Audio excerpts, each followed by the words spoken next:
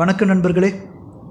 Psychological techniques side ஐட்டமில் மூலமாக நம்ம இன்னொரு வீடியோ பார்க்க போகிறோம் இந்த வீடியோவில் நம்ம பார்க்க போகிற டாபிக் என்னென்னாக்கா ஹெச்ஓடபிள்யூ ஹவு அப்படின்னா என்னன்றதை பற்றி பார்க்க போகிறோம் ஹவு அப்படின்னா எப்படி அப்படின்னு தானே அர்த்தம் தான் இங்கிலீஷில் தமிழில். சரிங்களா? ஆனால் இந்த ஹவு ஹெச்ஓடபிள்யூவை பயன்படுத்தி நம்மளுடைய லைஃப்பில் சில கெட்ட பழக்கங்கள்லேருந்தோ கெட்ட எண்ணங்கள்லேருந்தோ தேவையில்லாத எண்ணங்கள்லேருந்தோ தேவையில்லாத செயல்கள்லேருந்தோ நம்ம வந்து முற்றிலுமாக வெளியே வர்றதுக்கு அல்லது திரும்பவும் ஸ்டார்ட் பண்ணாமல் அந்த கெட்ட செயல்களை கெட்ட விஷயங்களை கெட்ட எண்ணங்களை அல்லது வேண்டாத விஷயங்களை திரும்ப ஸ்டார்ட் பண்ணாமல் இருக்கிறதுக்கான ரொம்ப முக்கியமான ஒரு உளவியல் டெக்னிக்கை தான் இந்த ஹவு டெக்னிக் அப்படின்னு சொல்லக்கூடியது. இந்த ஹவு வந்து எப்படி ஒர்க் ஆகுது எங்கே ஒர்க் ஆகுது அப்படின்னாக்கா ஏற்கனவே சொன்ன மாதிரி நான் வந்து மற்ற வீடியோஸில் இதை பற்றி எக்ஸ்பிளைன் பண்ணியிருக்கேன் ஆல்கஹாலிக் அனானிமஸ்ன்னு சொல்லக்கூடிய ஒரு ஆர்கனைசேஷன் இந்த பாப் அண்ட் பில் அப்படின்றவங்க தான் வந்து பார்த்திங்கனாக்கா நைன்டீன் தேர்ட்டி ஃபைவ்ல ஆரம்பித்தாங்க அவங்க வந்து அடிக்ஷன்லேருந்து வெளியே வரதுக்காக முக்கியமாக ஆல்கஹால் அடிக்ஷன்லேருந்து வெளியே வரதுக்காக நிறைய விதமான ப்ரேசஸை உருவாக்கியிருக்காங்க. அதில் ரொம்ப முக்கியமான ப்ரேசஸ் வந்து பார்த்திங்கன்னா ஒன் டே அட் டைம் அப்படின்றத நம்ம ஏற்கனவே பார்த்தோம் ஸோ இந்த முக்கியமான இந்த மூணு விஷயம் இந்த ஹவ் அப்படின்றது வந்து அப்ளை பண்ணுறதன் மூலமாக அவங்க நல்லபடியாக இருக்கலாம் அப்படின்றது தான் சொல்ல போகிறாங்க ஸோ சைக்கலாஜிக்கல் டெக்னிக்ஸ் மூலமாக சைக்கலாஜிக்கல் டெக்னிக்ஸ் சைடெக் தமிழ் மூலமாக நிறைய வீடியோஸ் நம்ம பார்த்துட்ருக்கோம் நான் ராஜ்குமார் உளவியல் சிகிச்சையாளர். ஸோ இப்போ நம்ம ஹவ் பற்றி பார்க்க போகிறோம் இந்த ஹவில் ஹெச் அப்படின்றது வந்து ஹானஸ்டின்னு சொல்லக்கூடியது. ஹெச் அப்படின்றது ஹானஸ்டி ஹானஸ்டின்னு என்ன? நேர்மை. ஃபஸ்ட்டு நேர்மையாக இருக்கணும்னு சொல்கிறாங்க நேர்மையாக இருக்கிறதுனா என்ன? ஒருத்தவங்கள்ட்ட நம்ம காசு வாங்குறோம் அந்த காசை திரும்பி கொடுக்குறது அப்படியா? அது மட்டும் தான் நேர்மையா? ஒருத்தவங்கள்ட்ட ஒரு வாக்கு கொடுக்குறோம் அந்த வாக்கு நிறைவேற்றுறது அது மட்டும் தான் நேர்மையா? அப்படி இல்லை. நேர்மை என்பது இன்னொருத்தருக்கு நேர்மையாக இருக்கிறது கிடையாது. எனக்கு நானே நேர்மையாக இருக்கிறது. அதாவது நேர்மைனா ஒருத்தருக்காக நான் இருக்கிறது இன்னொருத்தருக்காக நடிக்கிறது அவங்களுக்காக செஞ்சு கொடுக்கறது கிடையாது. உண்மையில் நான் தவறு பண்ணனா பண்ணலையா? நான் சரியாக இருக்கனா இல்லையா? நான் ஒழுக்கமாக இருக்கனா இல்லையா? நான் குடிச்சனா இல்லையா? நான் கெட்ட பழக்கம் செஞ்சனா இல்லையா? அப்படின்றது எனக்கு நல்லா தெரியும் இல்லையா? ஸோ அப்போ அவங்களுக்காக நடிக்கிறது நேர்மை கிடையாது. இந்த நேர்மையை நான் முதல்ல எனக்காக ஏற்படுத்திக்கணும். அதுதான் வந்து இந்த ஹவு டெக்னிக்கலாக ஹெச் சொல்லுது.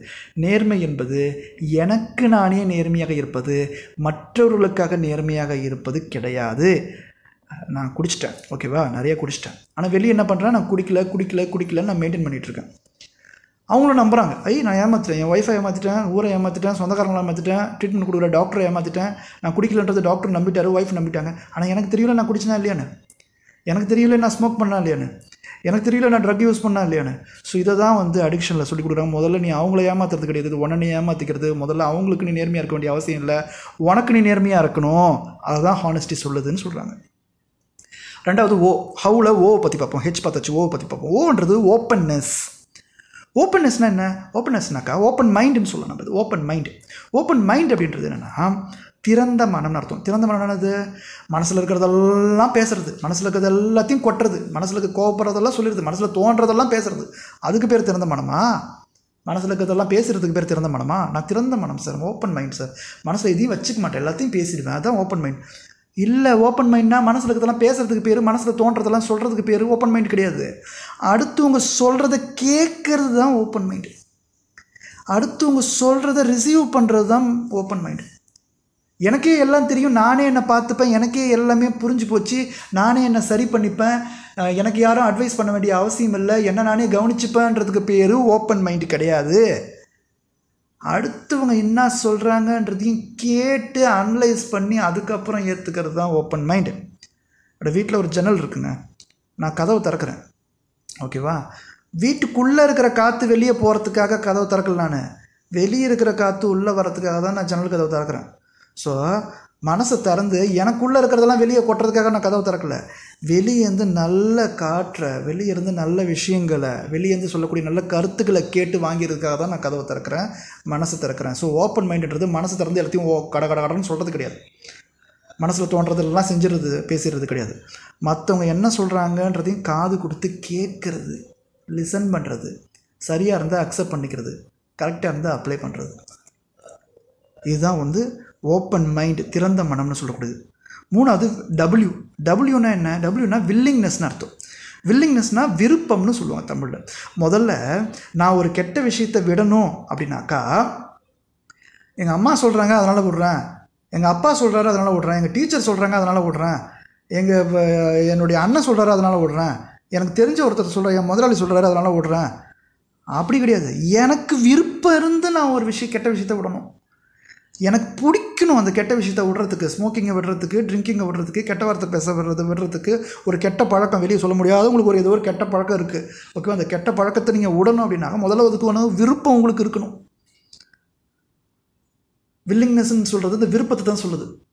ஸோ அந்த விருப்பத்தோடு நீங்கள் வெளியே வரணும். முதல்ல நேர்மையாக இருக்கணும். மற்றவங்கள ஏமாற்றிக்கிட்டு நான் செய்கிறது கிடையாது. எனக்கு நான் நேர்மையாக இருக்கிறது. முதல்ல திற ரெண்டாவது திறந்த மனம். ஓ மனசை ஓப்பன் பண்ணி அக்செப்ட் பண்ணி ஏற்றுக்கிறது மற்றவங்கிட்டேருந்து ரிசீவ் பண்ணுறது செய்திகளை வாங்குறது. வாங்கி அதை அப்ளை பண்ணுறது மூணாவது விருப்பத்தோடு செய்கிறது ஸோ இதுதான் ஹவு இந்த மூணு விஷயத்த இந்த ஹெச்ஓடபிள்யூ நீங்கள் அப்ளை பண்ணும்போது நீங்கள் விருப்பப்படாத எந்த ஒரு விஷயத்தையும் விட முடியும். நீங்கள் விரும்புகிற எந்த ஒரு நல்ல விஷயத்தையும் அட்லீஸ்ட்டு ஃபஸ்ட்டு ஸ்டெப் எடுத்து நீங்கள் அப்ளை பண்ணி செய்ய முடியும். இதுதான் வந்து அடிக்ஷன் ட்ரீட்மெண்ட்டில் ஏஏ ஆல்கஹாலிக் அனனிமஸில் சொல்லிக் கொடுக்குற ரொம்ப முக்கியமான ஒரு விஷயம்.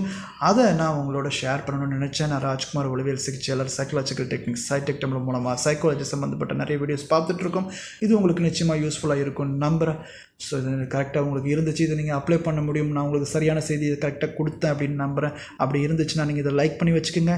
இதே மாதிரியான சரியாக ஃபாலோ பண்ண முடியாத நபர்களுக்கு நீங்கள் இந்த வீடியோவை ஷேர் பண்ணுங்கள் இந்த வீடியோவுக்கு நீங்கள் புதியவராக இருந்தாக்கா சப்ஸ்கிரைப் பண்ணி வச்சுக்கோங்க. பெல் பட்டனையும் கிளிக் பண்ணிங்க. தேங்க்யூ ஃபார் வாட்சிங்